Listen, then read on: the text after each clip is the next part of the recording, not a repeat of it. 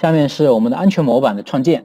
安全模板，我们不同的呃，你可以全部使用同样的一个认证方式，你也可以分开不同的组，要用不同的认证方式啊。比如说我们的员工，你可以使用一个固定密码，呃，WPA2、PSK 的认证。你也可以，如果是访客，你可以设置一个新的 SSID 啊，你可以用一个 Portal 对接，用一个 Portal 认证也是可以的。这边全部都是 WPA2、PSK 的方式，固定密码是 A 一二三四五六七。好，用第二栋大楼是 B 一二三四五六七。好。这个是我们安全模板，这个配置还是没有什么变化的。第三是我们的一个 SSID，SSID 我们多了一个 SSID 模板，大家可以看也是非常简单，创建一个 SSID 模板，然后建一个 SSID 啊，啊只能建一个 SSID，看一下。如果你要同时放不同呃同一栋楼，你放多个也是可以的，你自己绑定不同呃不同的 SSID 进去放出来就可以了啊。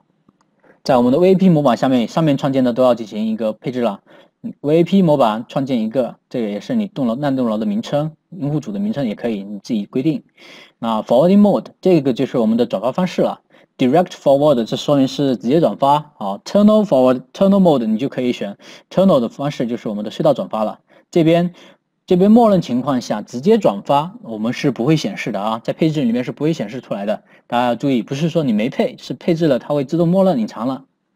啊下面是我们的 service LAN 啊，service VLAN，大家可以注意一下，service VLAN 我们正常情况下在以前我们是 service set 里面配置的，配置一个 VLAN 对吧？啊，这边我们的改变是在 service VLAN 里面我们创建了一个 VLAN pool，啊，把我们的 pool 名称弄进来就可以了。好。啊接下来是我们的安全模板，我们的 SSID 模板。那如果你要进行一个流控，你要设置一个呃带宽大小，你还加一个 traffic 模板哈，这边我们就不进行配置，那是可选的。你也可以不进行配配呃调用，这些全是我们必须要配置的。好，好，我们的主二也是一样的，只是调用不同的安全模板、不同的 SSID 模板、不同的 VLAN pool 就是了。然后最后就是把我们的 VAP A VAP 模板引用到我们的 AP Group 下面，就完成我们的配置了。大家可以看到 AP Group，然后把我们的 VAP 模板引用到这下面。啊，这边是我们的一个参数序列号。好，你可以选射频接口。我们一般双频的情况下会有一个二点四跟五 G 的接口。啊，你如果只想要二点四口放，你就放这个。你可以选择啊 Radios，你可以选零或者一。啊，零就是代表我们二点四 G 的，一就是代表我们的五 G 频段的啊。这个是不同的频段的问题，其他的就没有什么问题了。这个就是完成了我们所有的一个 WLAN 上线的一个配置流程啊。